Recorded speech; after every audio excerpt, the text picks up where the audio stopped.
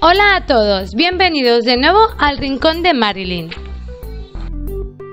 En el tutorial anterior hicimos un organizador de escritorio hecho con cajas de cartón. Me gustó tanto la idea que he decidido hacer otro más pequeño y práctico para mi hija. Voy a utilizar casi las mismas técnicas pero utilizando otros materiales. Antes de ir al paso a paso, como siempre, me gustaría pedirte que si te gusta este vídeo me dejes tu like, te suscribas al canal, me dejes tu comentario y compartas en tus redes sociales. En esta ocasión vamos a utilizar dos envases de Tetra Brick. Abriremos la parte superior y si es necesario lo limpiaremos completamente mejor que lo teníamos. Digo mejor porque yo ya los tengo limpios, enjuagados, con un chorrito de lejía que les puse para desinfectar y eliminar todas las impurezas del alimento. Una vez bien limpio, yo voy a utilizar esta línea que tiene que trae aquí el cartón de fábrica. Voy a marcarlo y esa línea la llevaré que más o menos mide unos 7 centímetros. Esa línea la llevaré por la parte del lateral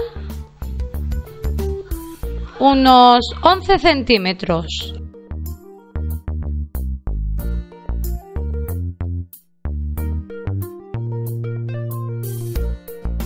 Uniré las dos líneas para marcar esa diagonal. Aquí simplemente lo estoy marcando con rotulador para que lo veas mejor. Y esta sería la parte que hay que recortar. Vamos a dejar la parte trasera sin recortar y así he hecho las dos cajas.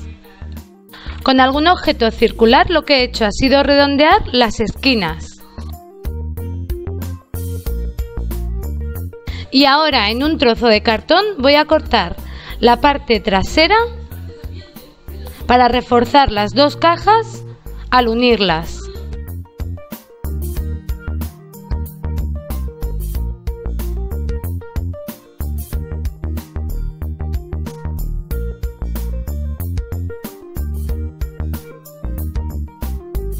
Ahora, con silicona fría las voy a pegar las dos cajas al cartón, una por una parte y otra por la parte de atrás.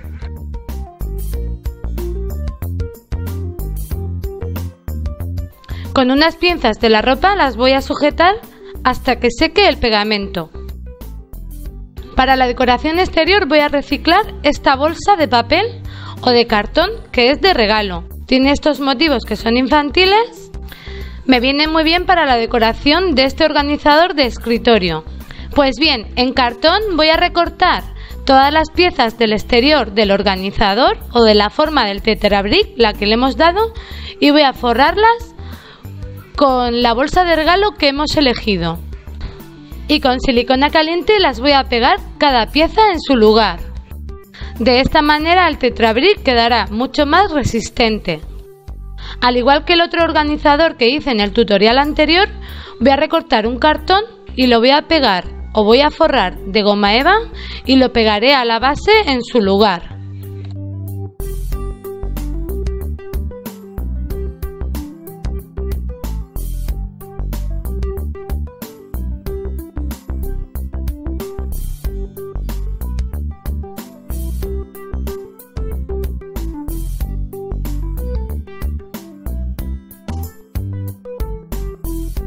Para disimular todos estos cantos de cartón que se ve del del interior, lo que voy a hacer es pegar tiritas de la medida en goma eva y así, aparte de decorar, quedará mucho mejor estéticamente.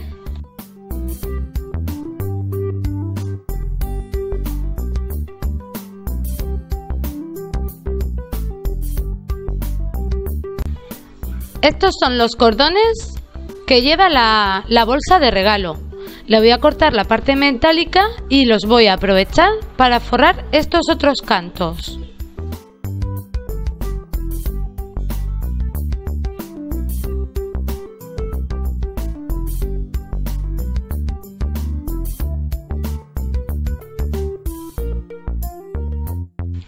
Para tapar los cantos de la parte de abajo he utilizado una tira de goma eva un poquito más ancha. Y como puedes ver he puesto algunas decoraciones con un botón.